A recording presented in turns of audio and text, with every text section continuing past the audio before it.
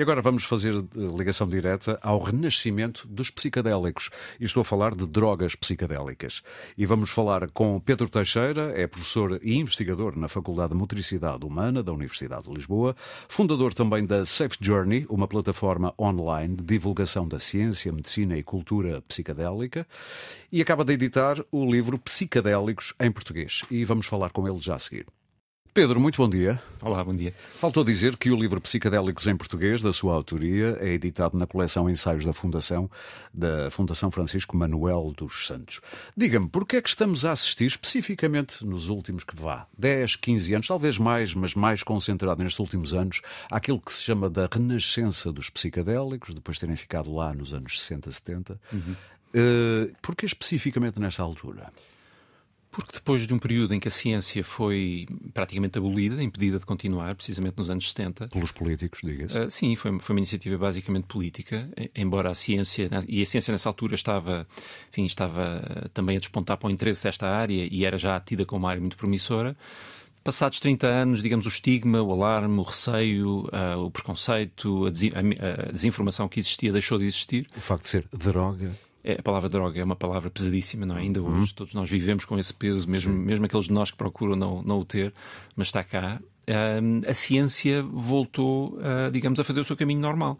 E, portanto, e entrou com tanta pujança, digamos assim, e com tanto potencial, os primeiros resultados começaram a aparecer, que, tratando-se de, de, de, de, uma possível solução, algo que ajuda a, a, tratar condições de saúde mental muito prevalentes.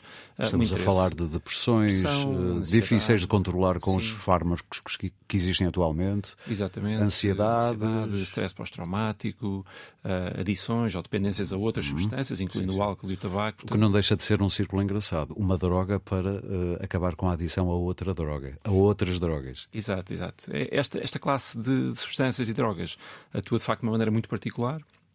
E, e dessa maneira, e, de, e, por essa razão, um, embora os mecanismos não sejam ainda completamente elucidados, uh, parece ter um potencial de transformação em geral, mas também um potencial terapêutico uhum. uh, que talvez não seja comparável a qualquer outra terapia. Uh, e precisamos explorar mais isto, precisamos saber melhor, mas de facto o interesse uh, aumentou bastante. E, pelo que julgo saber, em hospitais públicos portugueses, o que é um facto raro se olharmos para o panorama mundial e também em instituições de saúde privadas, por exemplo, a ketamina já é usada em contexto de psicoterapia, pelo que julgo saber, não é? Exato. Uh, é, é, a única substância psicadélica que é legal neste uhum. momento, tratando-se em Portugal. Um, em todo o mundo. Em todo a mundo, ketamina okay. é, um, é um medicamento muito usado em todo o mundo. Qualquer ambulância tem ketamina, em todos os Sim. hospitais. Porque é também um anestésico. É um é? anestésico, é? exatamente. É um Mas... anestésico com características muito interessantes. Mas nós estamos a falar de outro contexto. Sim, em doses subanestéticas, uh, verificou-se já há algumas décadas que a ketamina induzia também viagens psicadélicas, uh, viagens com estados alterados de consciência e que pareciam levar, e, e levam de facto, a, a, melhorias, nomeadamente em estados depressivos, de uma sim, maneira sim. bastante rápida.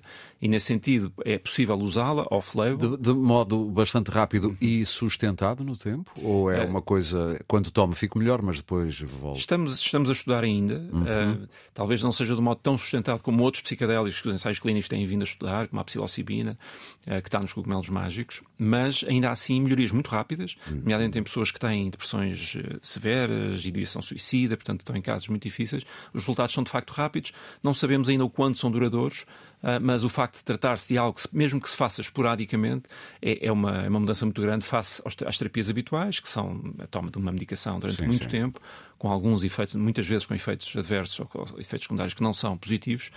Portanto, é algo que tem que se estudar, mas que já tem, já tem tanta evidência para o seu efeito antidepressivo, para a sua eficácia e para a sua segurança, que um, os clínicos atualmente sentem confiança para precisamente criar uh, esta oferta de psicoterapia assistida por ketamina em Portugal e noutros países também. Mas uh, também há resistências dos uh, agentes de saúde oficiais há, ou, ou nem por isso? Não, é, o, que, o, que, o, que, temos que fazer agora é, é, digamos, perceber melhor quais são os métodos mais eficazes, um, acordar entre todos que utilizam esta substância quais são os protocolos melhores, quais são os protocolos mais seguros. Continuar com a, com a, com a investigação.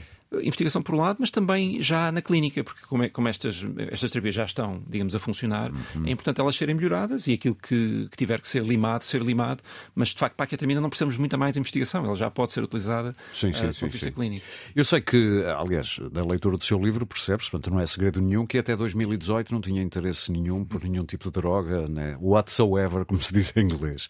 Mas de repente, já não me lembro muito bem, tem contacto com uh, vá, psicadélicos uhum. e converte-se é a palavra ou é exagerada? Uh, não, não, se trata de uma, uma religião. Um, Mas às vezes interesse... as comunidades ligadas aos psicadélicos, de vez em quando, também há por aí muito misticismo. É, é um pouco mais fama que proveito, digamos ah, é? assim. É? Uh, enfim, há cultos em todas as áreas, por todas claro. as razões, mas esta até não é das mais prevalentes. Mas sim, eu li um livro muito, muito marcante, não só para mim, mas para muitas pessoas, foi escrito por um jornalista e um autor muito conhecido na área da nutrição, alimentação, que era a área onde eu trabalhava. E, portanto, vindo dele, eu prestei atenção. E, o livro, de facto, muda a nossa maneira de ver estas substâncias em particular, o seu potencial, o seu papel, uh, a sua história, a sua Sim. cultura e o, e o, potencial que elas podem vir a ter uhum. na medicina em particular, mas na sociedade mais em geral. E, portanto, sim, foi aqui para mim foi uma tempestade de interesse perfeita e, e pronto, e depois comecei a estudar. Já deve ter umas, tido umas tripes boas e más, não interessa. Já. É como se diz, né, em linguagem de quem experimenta ou usa psicadélicos. Uh, as pessoas têm muito medo das bad trips, uhum. as más experiências. Uhum. Uh, é um medo exagerado? É um medo realmente que vale a pena ter em conta na decisão? Eu diria que é um medo exagerado. Estas substâncias são, têm, são poderosas, mas digamos que criar as condições para que uh, as experiências sejam seguras não é muito difícil. E, portanto, mesmo aquilo que às vezes as pessoas descrevem como experiências difíceis ou experiências que possam ter sido assustadoras, e, e há muita mitologia à volta disto. Então não há. O, julgava que era uma janela, mas afinal era uma varanda e caiu para a é rua. Muito, pronto. Aí, porque estava a alucinar. Exato.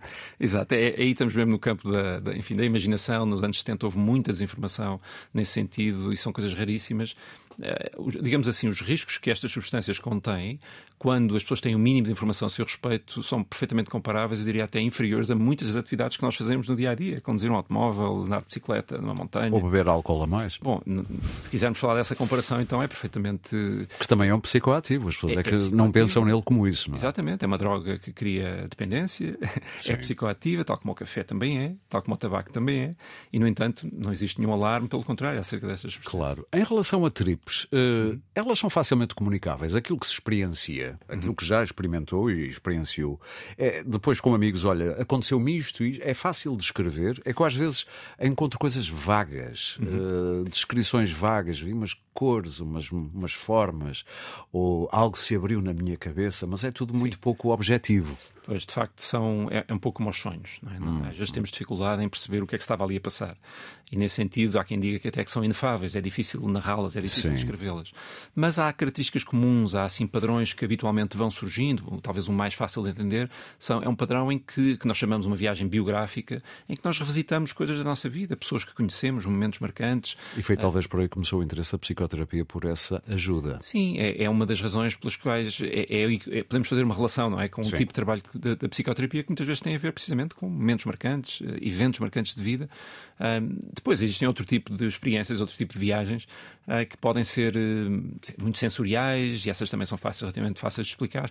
Quando entramos no domínio de, de, de experiências que, que, que, se podem caracterizar como místicas ou transcendentes, uhum. e às vezes é um bocadinho mais difícil, mas não quer dizer que não sejam relevantes e importantes. Enfim, tem, todas estas experiências carecem de uma, de uma fase de integração a seguir, principalmente quando são poderosas. Isso é importante, é a chamada integração é destas fases importante. que poderão estar associadas ao consumo, a integração no fim é muito importante. É, é muito importante para fazer sentido do que se passou, claro. para conseguir integrar bem na nossa vida, para perceber o que é que pode ser real e o que é que pode ser. É preciso alguém connosco nesse sentido. Eh, depois, é, é, útil que sim, é útil que haja um outro par de olhos, principalmente alguém que já nos conhece. Claro. Um psicoterapeuta seria o ideal, mas há pessoas que têm um psicólogo, digamos, mesmo que não, não conheça a pessoa, pode fazer esse trabalho. Vamos falar de cuidados, até porque não temos muito tempo e há por aí muita oferta. Uhum. Já, eh, muitas vezes informal, muitas vezes underground, mas há por aí muita oferta. Que uhum. cuidados é que uma pessoa queira, neste preciso momento? Uhum. Olha, vou experimentar. Pois. O que é que deve fazer ou evitar fazer? Bom, primeiro deve, deve estudar um pouquinho E espero que o livro possa ajudar. Eu ia dizer isso. Este uh, livro é muito informativo. Porque não é muito complicado. Até para decidir não o fazer. Exatamente. exatamente. Mas, é, é, é, mas que seja uma decisão em consciência claro, e não, claro. por causa de medo ou receios claro, ou, digamos,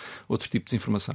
Uh, deve, deve, saber o que é, deve, deve, saber o mínimo sobre porquê aquela substância, o que é que está à procura, saber que elas são poderosas e, portanto, é preciso reunir as condições certas para, para o saber fazer. É muito importante para algumas substâncias elas serem testadas, porque tratando-se de químicos e às vezes dada enfim, eh, o proibicionismo que ainda impera, às vezes são adquiridas por fontes que nós não conhecemos tão bem. Sim. E, portanto, neste momento já em Lisboa, a Associação Cosmic Care permite que nós testemos as drogas sintéticas para sabermos exatamente o que é que é. Se não estão contaminadas, até, por exemplo, exatamente. com outras coisas. Ou concentrações muito acima daquilo sim, que podíamos sim, esperar. E depois, dependendo da, da dose, preparar-nos, sabermos o que é que aí vem. E é importante dizer que nem sempre são viagens muito intensas. Às vezes são, com doses mais baixas, as viagens são relativamente tranquilas, digamos e assim. E até pode ser um bom ponto de partida. É um bom ponto de partida. Começar devagarinho e bastante divertido até. Sim.